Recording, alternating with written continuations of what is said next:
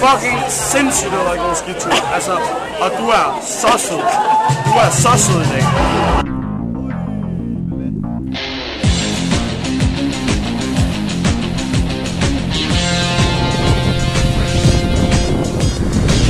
Wir sind die Könige auf dem ewigen Eis.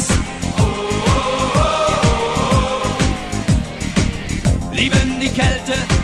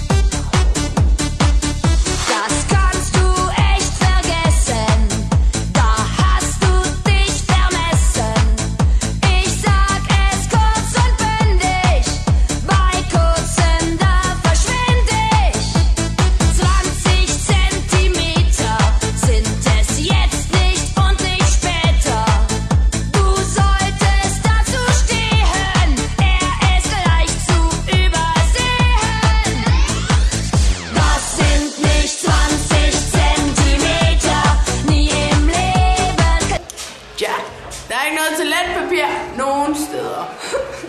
Jeg har noget. Ja, kast! Men no! Jo. Yes!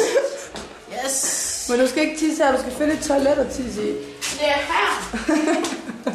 Nej, hvor er der øl herinde. Der har vi guide, Allan. Åh oh, nej.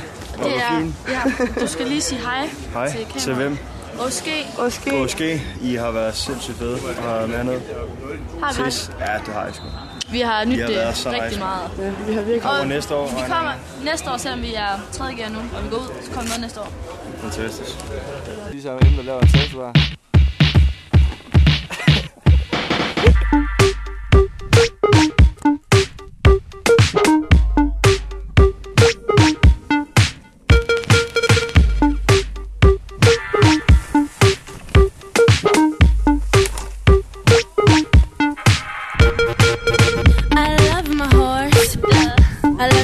it. I love to make love to it too. So feed the horse.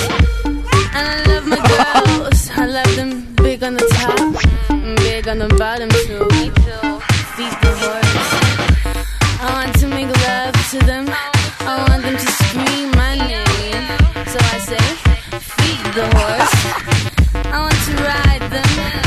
Men på min skiferie, der var jeg oppe klokken halv syv hver dag, så jeg kunne være ude og stå på liften, liften klokken øh, halv otte.